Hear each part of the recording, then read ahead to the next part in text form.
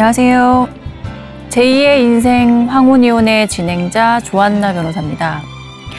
결혼 후 자신의 이름을 잃어버린 채 누군가의 아내, 남편, 부모로서 살아온 세월. 더 늦기 전에 나라는 존재를 찾으려는 분들이 어렵게 내린 결정 황혼이혼. 저희 제2의 인생 황혼이혼에서는 황혼 이혼에 관한 다양한 사례와 함께 법률 지식을 전해드립니다. 오늘은 이전에 한번 설명을 드렸던 주제인 외도와 관련된 더 많은 사례들을 소개해 드리고자 합니다. 이혼 관련된 사례들을 살펴보면 가장 많은 사유는 성격 차이고 그 다음으로 많은 이혼 사유는 부정행위, 즉 외도입니다.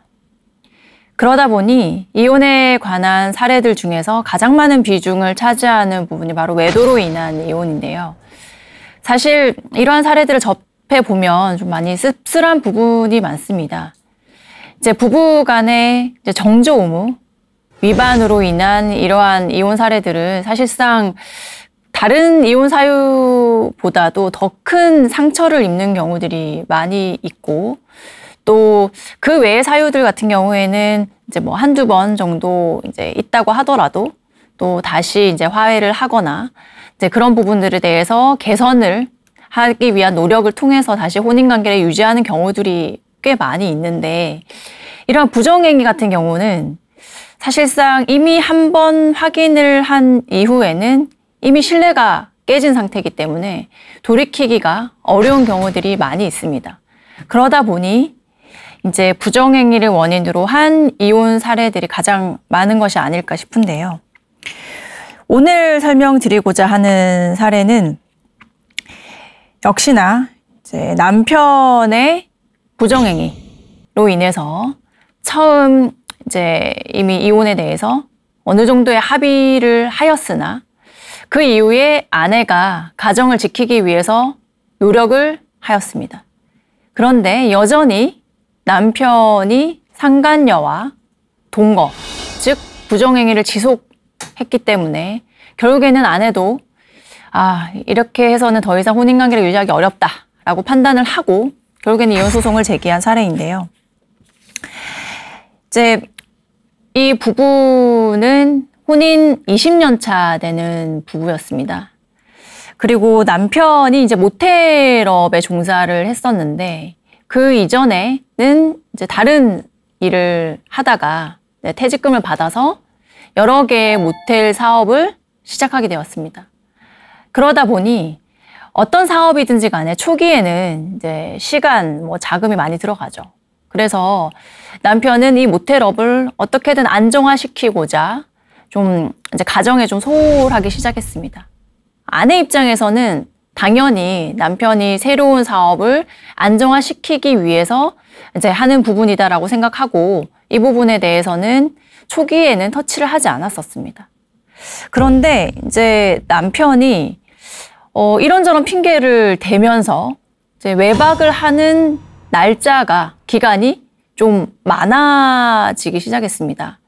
그러니까 아내 입장에서도 아니 뭐 이조, 이제 이 정도 시간이 지났으면 이제 어느 정도 안정화가 됐고 굳이 외박까지 할 필요는 없지 않을까라는 생각을 하게 되었고 이에 대해서 남편에게도 아, 너무 외박이 잦으니까 이제 집에 좀 늦게 들어와도 되니까 어떻게든 집에 들어와라라고 부탁을 하였습니다.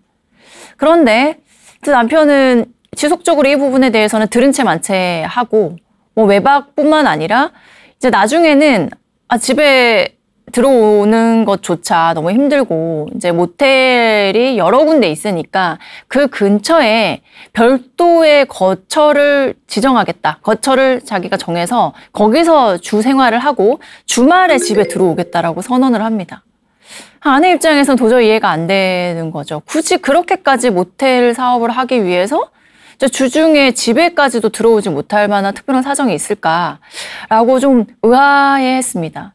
그런데 이제 뭐 그렇다고 해서 남편을 의심을 하기도 사실은 이제 그렇게 하고 싶지 않으셨겠죠. 왜냐하면 이게 한 번 상대방을 의심하기 시작하면 그 부분에 대해서 너무 이제 집착으로 이어지게 되고 그렇게 되면 그 이상의 것을 하고 싶은 마음이 들기 마련이거든요. 예를 들면 뭐 남편의 집에 있을 때 혼을 확인하고 싶어지기도 하고 또는 뭐 흥신소 등의 이제 탐정업자를 고용해서 뭐 미행을 시켜 보기도 하고 그러한 이제 생각이 들기 시작하기 때문에 그러면 걷잡을 수 없어질 수 있다라고 아내는 생각을 했습니다. 그래서 조금 더 남편을 믿어보자 라고 생각을 하고는 이제 뭐 그냥 그렇게 해라. 그래. 대신 자주 연락하고 그리고 주중에라도 시간이 되면 언제든지 좀 집에 자주 와달라 라고 요청을 합니다.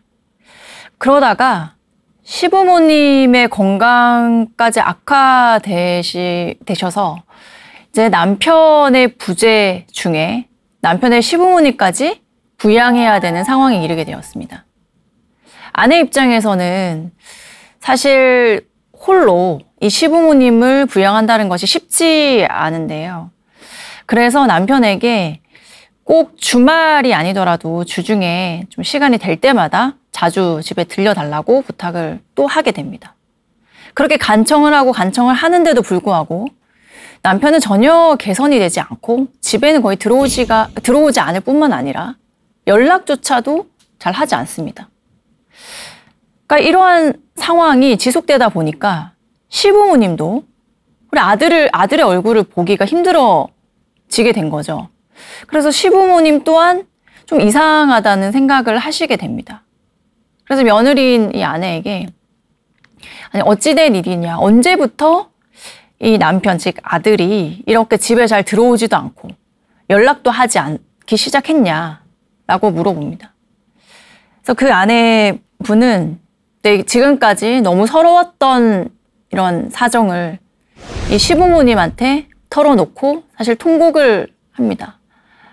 지금까지 거의 몇 년 동안 모텔업을 한다라는 명목 하에 거의 외박이 잦았고 결국에는 이렇게 본인이 사업을 핑계 대며 집까지 다른 곳에 얻어서 주말에만 집에 들어온다.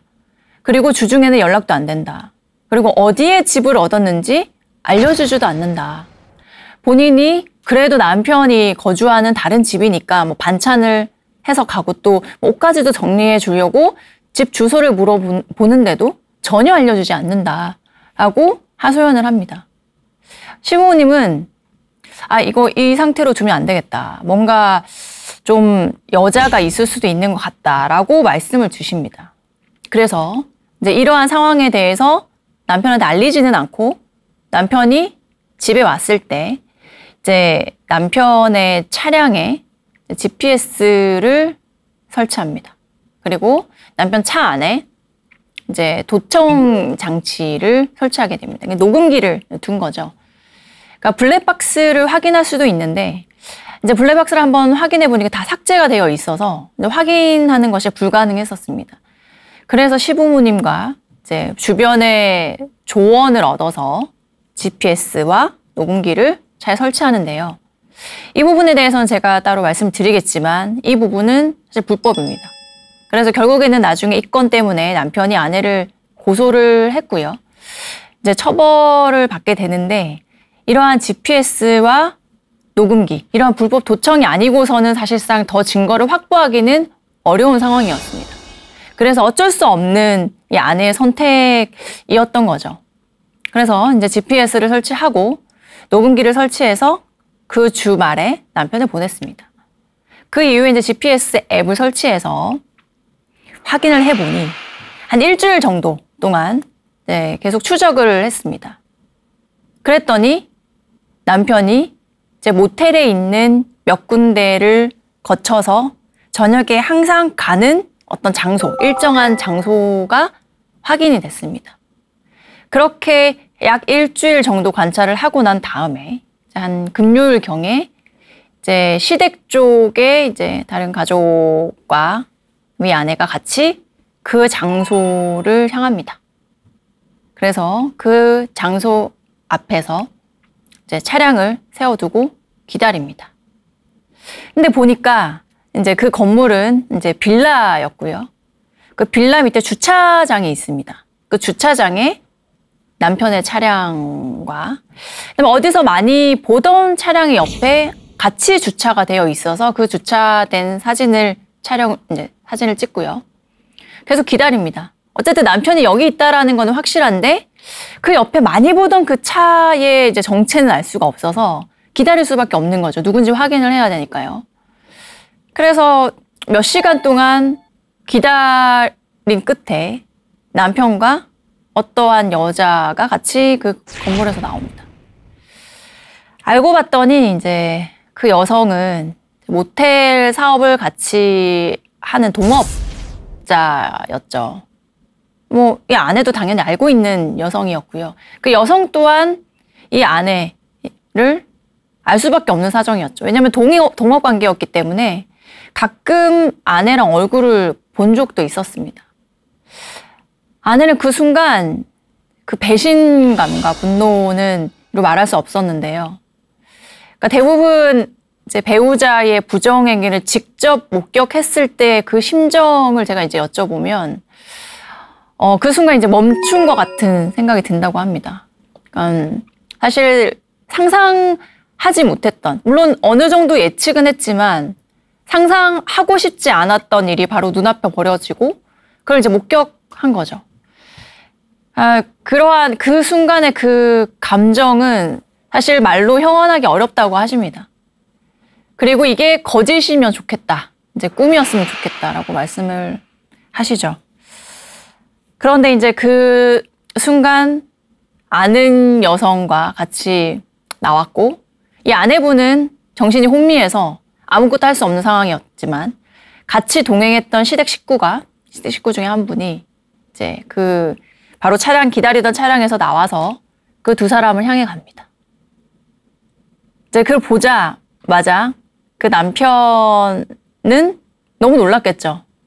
그래서 이제 멈춰 섰고 같이 나오던 여성은 도망을 갑니다. 그러니까 뭔가 이제 들켰다라는 생각을 했겠죠. 도망을 가고 남편만 있는 상황에서 시댁 식구와 아내도 다시 정신을 추스리고 나와서 남편한테 도대체 이 상황이 뭔지 설명을 하라고 합니다. 남편도 당황스러웠겠죠. 그런데 시댁 가족도 같이 왔기 때문에 이제 어떻게 뭐 변명을 하기도 어려운 상황이었고요. 그래서 이제 시댁 가족이 지금 여기 어디냐? 같이 들어가 보자. 라고 얘기를 합니다. 그래서 난 이제 남편은 피할 수 없다라는 것을 인지하고 시댁 식구들과 아내와 함께 그 빌라에 본인이 거주하던 장소로 들어갑니다. 어, 그 장소는 그냥 혼인 생활처럼, 그러니까 그냥 일상적인, 일반적인 부부가 같이 사는 터전과 다름이 없었습니다. 같이 뭐 제주도 여행을 갔던 것 같아요. 그래서 그 남편과 그 상간녀, 동업자죠. 같이 제주도 여행을 갔던 사진 액자에 버젓이 걸려 있고, 그다음에 뭐 부엌, 뭐 식기, 그다음에 뭐 소파, 뭐 침대 전부 다 그냥 일상적으로 생활을 하는 모습 그대로였습니다. 뭐 화장실에는 당연히 이제 뭐 세안용품이라든지 여러 남편의 모든 용품들이 다 그곳에 있었습니다. 제 남편의 집을 나오면서 원래 아내와 같이 거주했던 집에 있던 짐들이 모두 다 이곳으로 옮겨와 있었습니다. 상간녀와 같이 여행 갔던 사진뿐만 아니라 남편이 이전에 같이 있을 때의 여러 가지 사진, 뭐 단독 사진들도 다 이곳에 다 있었습니다. 남편의 다른 물품들, 뭐 책들, 그 외에 남편의 소지품들, 이 모든 것들이 다 이 집에 옮겨와 있었습니다.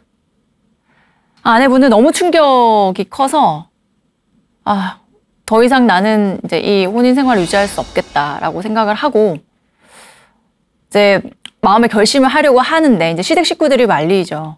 이제 뭐 며느라 좀 참자. 우리가 아들을 설득해 보겠다 라고 하고 좀 이제 며느리를 좀 이 아내분을 진정시키고 이 시댁 식구들이 남편을 설득을 하는데요. 오히려 남편과 그 상간녀가 아, 이혼을 원한다. 나는 다시 이전으로 도가, 돌아가기를 원하지 않는다. 이혼을 원한다라고 오히려 이혼 소장을 먼저 접수를 합니다. 사실 이 아내 입장에서는 어, 본인이 피해자인데 오히려 남편 쪽에서 적반하장격으로 이혼 소장을 접수를 한 거죠. 정말 이러한 상황들이 사실 말도 안 되는 상황이긴 하지만 꽤 많습니다. 벌어져서는 안 되는 부분이긴 하지만 이 남편과 상간녀는 이제 본인들은 아, 나는 더 이상 이제 남편 입장에서 나는 더 이상 아내를 사랑하지 않고 아내와는 더 혼인 생활 유지할 수 없다. 난 이 상간녀를 사랑한다. 그러니까 상간녀와 남은 인생을 함께하고 싶다라고 하며 이혼 소장을 접수합니다. 물론 아내도 이혼을 하고 싶었겠지만 그래도 가족 내 가정을 유지하고 싶었기에 이혼을 원하지 않는다 라는 주장을 하고 결국 남편이 먼저 제기한 이혼 사건은 기각이 되고 남편이 항소까지 제기했지만 확정이 되었습니다. 그리고 나서 이 남편은 이 아내를 상대로 형사로 고소를 합니다. 아까 말씀드렸던 GPS를 설치한 건은 뿐만 아니라 녹음기를 설치한 건에 대해서 형사 고소를 하고요. 이 건에 대해서는 특히 녹음기를 설치한 거는 불법 도청인데 이는 통신비밀보호법 위반이고 여기에는 벌금형이 규정되어 있지 않습니다. 따라서 구속, 즉 실형이 선고될 가능성이 매우 높은데 이제 이혼이 안 되는 것으로 이혼 기각이 확정이 된 다음에 이제 남편이 이 사건을 가지고 형사 고소를 했고 물론 그 이후에 이제 아내가 좀 선처를 해달라라고 좀 부탁을 해서 이제 남편이 이 부분에 대해서 좀 뭐 좀 처벌을 크게 원하지 않는다라고 의사 표시를 하고 또 아내 입장에서 이 부분에 대해서 부인하지 않고 인정을 했고 또 이럴 수밖에 없었던 사정이 있었죠. 남편의 외도를 확인할 수 있는 유일한 방법이었기 때문에 이러한 어쩔 수 없는 상황에 대해서도 좀 반영이 돼서 집행유예가 선고됐습니다. 그러니까 구속이 되지는 않았던 거죠. 하지만 이 아내도 본인이 피해자인데 사실상 이제 형사적으로는 범죄를 저지른 것이기 때문에 집행유예가 선고됐습니다. 그 이후에 지금 혼인 생활은 법률로는 관계는 계속 유지되고 있는 상황인 거죠. 제 아내는 비록 남편이 본인을 형사 고소까지 했지만 그래도 남편에게 가정으로 돌아오라고 간청합니다. 시댁 식구들 또한 같이 남편을 설득하는데요. 그러나 남편은 이러한 아내의 부탁과 시댁 식구들의 설득을 뒤로 하고 계속 이 상간녀와 동거 생활을 유지합니다. 그렇게 한 3년의 시간을 더 별거 그리고 상간녀와의 부정행위를 지속해 나가는데요. 그 사이에 이제 이 아내가 남편에게 이제 홧김에 내가 만약에 당신이 나에게 지금 내가 거주하고 있는 공동 명의의 부동산 소유권을 완전히 나에게 이전해주면 내가 이혼을 해줄게. 라고 제안을 한, 합니다. 그래서 각서를 작성을 했고요. 그런데도 불구하고 그 이후에 남편은 이 소유권 이전 절차를 이행하지 않습니다. 즉, 그 각서를 이행하지 않는 거죠. 그러니까 아내 입장에서는 이제 남편이 물론 이혼 소송을 제기를 하고 그 당시에는 이혼을 원하지 않는다고 했고 또 남편이 형사 고소까지 했고 그러, 그렇지만 이제 이혼에 대해서 어느 정도 생각을 하기 시작하셨겠죠. 왜냐하면 이 관계가 다시 회복되기는 어렵다라는 것을 어느 정도는 생각을 하고 계셨을 겁니다.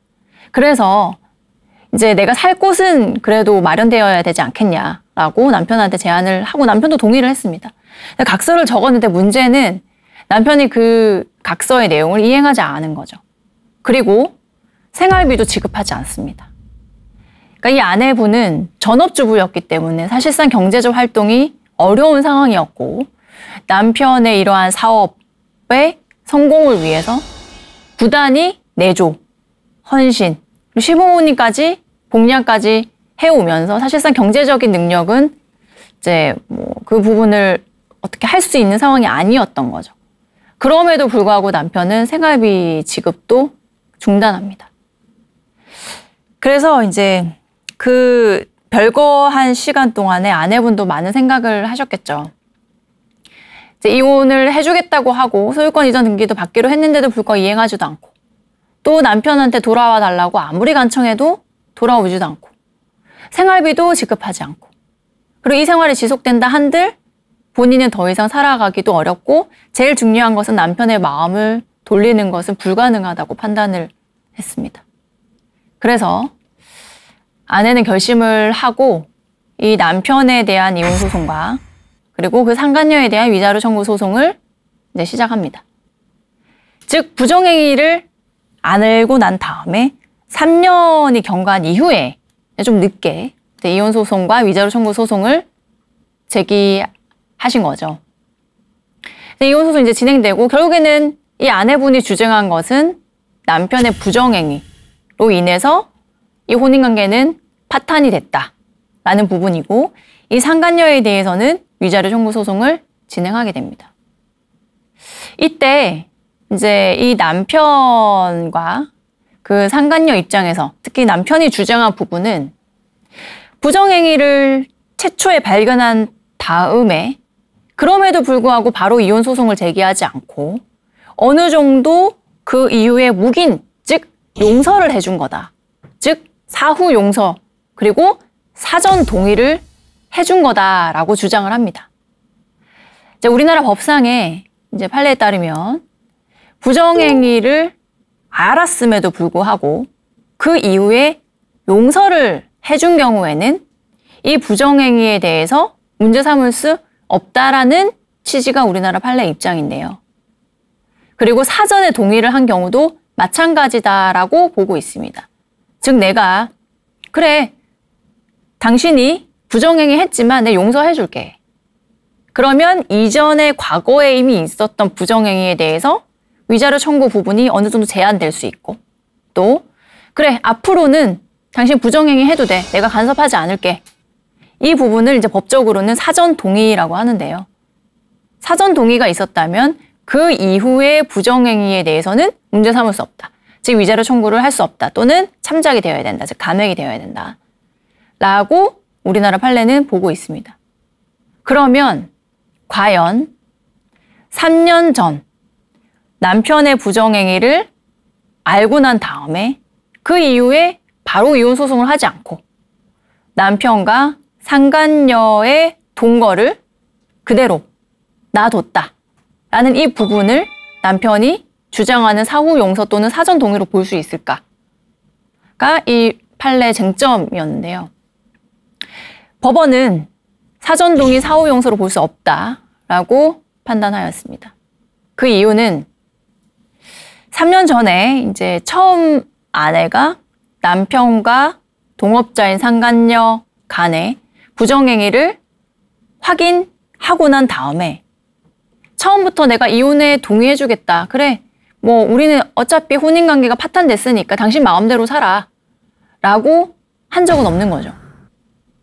남편이 이혼 소송을 제기했을 때도 나는 이혼을 원하지 않는다라고 공식적으로 의사표시를 했고 그 이후에도 지속적으로 시댁 식구들과 함께 집으로 돌아와라.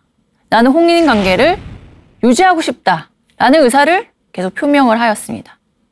물론 만약에 당신이 나에게 소유권 이전 등기를 나머지 2분의 1 지분에 대한 소유권 이전 등기를 해준다면 이혼을 해주겠다라는 의사표시를 하기도 하였으나 이 부분은 소유권 이전에 대한 이행이 되었을 경우 이러한 이행을 조건으로 해서 이혼을 하겠다라는 조건부 이혼 의사 표시에 불과했기 때문에 이 부분은 사실상 명시적으로 내가 이혼을 하겠다. 우리는 혼인관계가 완전히 파탄되었으니 당신은 외도를 해도 된다. 그 상간녀랑 계속 동거를 하더라도 내가 문제 삼지 않겠다라는 의사표시로 볼 수는 없는 거죠. 즉 사전 동의, 이전의 부정행위에 대해서 사후 용서를 했거나 그 이후에 계속 부정행위를 한 거에 대해서 내가 사전 동의를 해준 게 아닌 거죠. 결과론적으로 이 아내의 남편과 상간녀에 대한 위자료 청구 소송, 그러니까 이혼 및 위자료 청구 소송은 받아들여졌고요. 남편과 그 상간녀에 대해서 위자료 5천만 원이 인정이 됐습니다. 상간녀 또한 본인의 항변한 사유로는 첫 번째가 이미 3년이 지났기 때문에 위자료 청구는 안날로부터 3년 이내 해야 되는데 그 기간이 도과했다. 그렇기 때문에 이 위자료 청구는 이유가 없다. 라고 항변을 하였으나 처음 발견한 이후 3년 내내 계속 동거를 하면서 부정행위를 지속하고 있었던 거죠. 그 3년이라는 기간은 도과하지 않은 거죠. 중단이 된 상태인 거죠. 그렇기 때문에 이러한 상간녀의 주장 또한 받아들여지지 않았습니다. 그래서 위자료로 5천만 원이 인정됐고 재산 분할 또한 혼인 기간이 20년이 넘었기 때문에 50%가 인정이 된 사례입니다. 아내는 굉장히 큰 상처를 받았을 겁니다. 본인은 이 혼인 관계를 유지하기 위해서 너무 많은 노력을 했는데도 불구하고 남편과 상간녀가 이에 전혀 협조해주지 않은 거죠. 그래서 결국에는 이 이혼 사건은 아내의 승으로 끝이 났습니다. 또 다음 사례를 소개해 드릴 건데요. 이제 이 사례는 74세의 한 할아버지의 얘기입니다. 이분은 이제 10년 동안 유부녀와 부정행위를 했는데 이 유부녀가 오히려 이 분을 형사적으로 고소를 해서 구속까지 됐고 그 이후에 이 남자 할아버지의 아내분이 이 자기의 남편이 유부녀와 거의 10년 동안 부정행위를 했다라는 사실을 인지하고 이혼 소송을 제기한 사건입니다. 이전에 한창 콜라텍이 유행을 했습니다. 이 콜라텍은 이전에는 젊은 층이 많이 갔었는데 어느 시점부터는 좀 나이가 있으신 분들도 콜라텍에 오시기도 했었던 거죠. 그래서 이 할아버지도 60대 때 이제 뭐 자녀들도 다 성년이 됐고 또 아내와의 관계도 좀 소원했고 또 직업 또한 임대업을 하고 계셔서 좀 시간적으로 여유가 많으셨던 것 같습니다. 그리고 뭐 평소에도 뭐 춤이나 그런 유흥을 좀 좋아하셨던 것 같고요. 그래서 이제 콜라텍에 방문을 하게 됩니다. 거기서 이 상간녀를 만나게 되는데요. 상간녀 또한 비슷한 연령대, 아마 그분은 그 당시 한 50대였던 것 같고, 역시 유부녀고, 자녀들, 성년 자녀들도 있었습니다. 그러니까 물론 처음 만났을 때에 서로 뭐 유부남이다, 유부녀다라는 거에 대해서 뭐 물어보진 않겠죠. 그러나 거기에 오신 대부분의 분들이 당시에 뭐 5, 60대 분들이셨고, 뭐 70대도 계셨던 것 같습니다. 50대에서 70대 분들이시니 기본적으로는 이제 뭐 아내 또는 남편이 있다라는 부분에 대해서 어느 정도 인지는 하고 계셨을 거예요.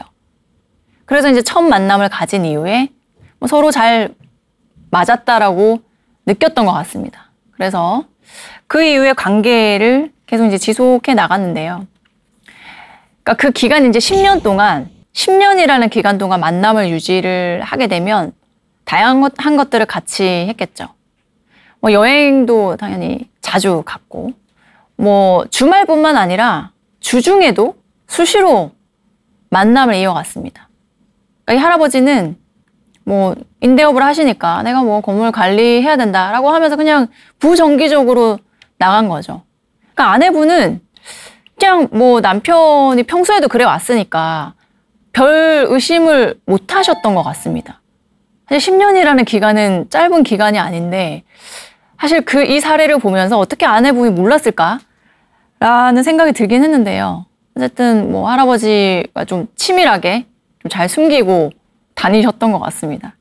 그래서 주말 평일 가리지 않고 뭐 수시로 만나고 또 모텔도 자주 출입을 하셨고 또 이에 그치지 않고 이제 그 상간녀 분과 합의하에 성관계를 하는 동영상도 촬영을 많이 하신 것 같습니다.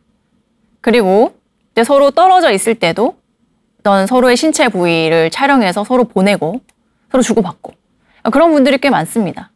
그러니까 이제 연령을 불문하고 이런 부분들에 대해서 이제 부정행위를 하시는 분들은 서로 이제 사진을 주고받으면서 이제 부정행위를 이어나가시는 분들이 꽤 있고 사실 이 부분이 자칫 잘못하면 형사적으로 문제가 되는 경우들이 있습니다. 본건도 그런 경우 중에 하나입니다. 그래서 이제 한 10년 동안 같이 거의 뭐 부부와 다름없는 같이 동거를 하지 않았을 뿐이지 부부와 다름없는 생활을 하게 된 거죠. 그러니까 남편은 집에 할아버지 집에서 나와서 거의 하루 종일 낮에는 이제 그 유부녀랑 시간을 보내는 겁니다. 그런데 이제 이 할아버지가 어, 우울, 노년 우울증이 오게 됩니다. 그러니까 한, 뭐, 한 8, 9년 정도 됐을 쯤에 제가 좀 우울증이 와서 이 상간녀와 좀 만나는 것이 좀 힘들어지신 거죠. 그래서 연락을 좀 단절하고 한 1년 정도는 이제 만나지 않습니다. 그러다가 이제 뭐 1년 정도 지나고 난 다음에 이 할아버님이 회복이 되시기도 했고 또 이제 오히려 내가 이 우울증을 극복하려면 평소와 동일하게 좀 활동을 많이 해야 된다라는 생각에 다시 콜라텍을 찾습니다. 그래서 이제 콜라텍 갔는데 콜라텍이 몇 군데 없었나 봐요. 그래서 콜라텍 갔는데 우연히 이전에 만남을 유지했던 그 상간녀가 다른 남성과 거기서 이제 춤을 추는 광경을 확인하게 됩니다. 너무 우연이긴 한데 이제 이러한 일들이 일도 이제 있는 거죠. 저게 이제 다양한 사례들을 접하다 보니까 그러니까 잘 흔치 않은 경우들도 발생하는 경우들이 있습니다. 그래서 이 할아버지가 1년 만에 다른 콜라텍을 갔는데 하필 거기에 이전에 만났던 상간녀가 또 그 콜라텍을 오셨고 다른 남성과 이제 춤을 추고 계신 거죠. 그러니까 사실 이 할아버지가 화를 낼 이유가 없지만 화가 나셨던 겁니다. 어쨌든 한 8, 9년 정도 관계를 맞아 이제 맺어왔기 때문에 이제 뭐 연인으로 생각을 하셨던 거죠. 근데 다른 남자랑 춤을 추고 있으니까 갑자기 분노가 이제 치밀어 오른 거죠. 연락처는 그대로 있어서 그 여성한테 이제 상간녀한테 이제 연락을 합니다. 연락을 하면서 나랑 만나자 다시. 내가 이전에는 뭐 우울증이 있어서 이랬는데 다시 괜찮아졌다. 다시 만나자 라고 해서 이제 모텔에서 다시 만남을 가집니다. 그리고 또 성관계를 하고 또 성관계 영상을 촬영을 했죠. 그런데 이제 이 할아버지가 좀 집착이 생기기 시작합니다. 그래서 그 상간녀에게 다른 남자랑 만나지 말고 연락도 하지 말고 무조건 나랑만 만나야 된다. 라고 강요하고 집착하기 시작해서 이 여성 입장에서는 사실 가정이 있고 남편도 있습니다. 근데 이 할아버지가 계속 강요를 하니까 아, 나는 이제 더 이상 당신이랑은 만날 수가 없다라고 헤어짐을 통보합니다. 그 순간부터 문제가 시작됐는데요. 이 할아버지가 이전에 찍어 놓은 성관계 영상을 그 상간녀에게 보내면서 당신이 나랑 만나주지 않으면 나는 이 영상을 당신의 남편, 그리고 당신의 아들한테 유포할 거다. 그리고 그 외에 다른 사람들한테도 내가 이 영상을 퍼뜨릴 거다. 라고 협박을 합니다. 그 상간녀 입장에서는 공포스러워진 거죠. 그러니까 유부남, 유부, 이제 유부남이기도 했고, 그리고 본인도 유부녀고 남편이 10년 동안 모르고 있었고, 거기다가 이제 본인도 콜라텍을 가고 다른 한 명이 아닌 여러 명의 남자들을 만나고 있고 이 관계를 본인은 즐기고 있는데 이러한 사실을 이 남편이 알게 되는 순간 이제 본인 가정은 파탄에 이르게 될 것인 거죠. 너무나도 명확하기 때문에 이제 본인은 이제 두려움에 경찰에 고소를 합니다. 그러니까 이러한 성적 촬영물을 가지고 협박을 하는 것 또한 이제 성범죄 폭력에 관한 처벌법에 따라서 처벌이 가능하고 사실 성범죄와 관련된 어, 이제 위반인 경우에는 그 처벌의 수위가 매우 높습니다. 대부분 구속이 되는데요. 이 할아버지 또한 실형을 선고받습니다. 그래서 구속이 됩니다. 이 할아버지의 아내는 본인 남편이 구속이 되자 그제서야 본인의 남편이 거의 10년 동안 콜라텍에서 만난 이 상간녀와 부정행위를 저지르고 있었다라는 사실을 알게 됩니다. 이제 이 아내 입장에서 너무 당황스러운 거죠. 그러니까 부정행위를 했다라는 것도 충격인데 본인의 남편이 범죄를 저질러서 구속까지 됐다라는 것 또한 너무 큰 충격이었습니다. 거기다가 그 구속된 범죄 사실은 성착취, 성범죄에 관련된 그러한 성적 수치심을 유발할 수 있는 영상을 가지고 이걸 유포하겠다며 협박을 한 범죄 사실로 인해서 구속이 된 겁니다. 그러니까 아내 입장에서는 너무 부끄럽기도 하고 이게 본인 남편이긴 한데 이런 일까지 벌였다라는 것 자체가 사실 납득이 되지 않았습니다. 그러니까 전혀 이제 신경을 안 썼던 부분도 있었고 본인에게는 이러한 뭐 성적인 부분에 대해서 뭐 성관계를 동영상을 촬영하거나 이런 일들은 전혀 없었던 거죠. 그래서 예상하지 못했던 이러한 황당한 일로 인해서 이 아내분은 사실 이거 어떻게 해야 될지 몰라서 변호사 상담을 받으셨고요.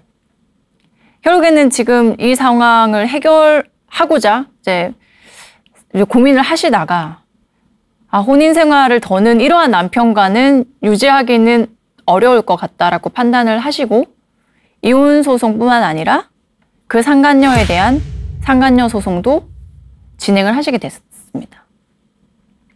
구속이 되어 있는 상황이기 때문에 사실 이혼 소송을 제기를 하면 이제 대리인이 이제 대신 당연히 이제 대리인이 출석을 하게 되는데요. 어, 구속이 되어 있다 하더라도 뭐 이혼 소송 진행은 충분히 가능합니다. 이제 이 상간녀도 이제 좀 적반하장격으로 본인도 피해자다. 당신 남편 때문에 내가 어, 스토킹처럼 계속 협박을 당했다. 라고 피해를 호소합니다.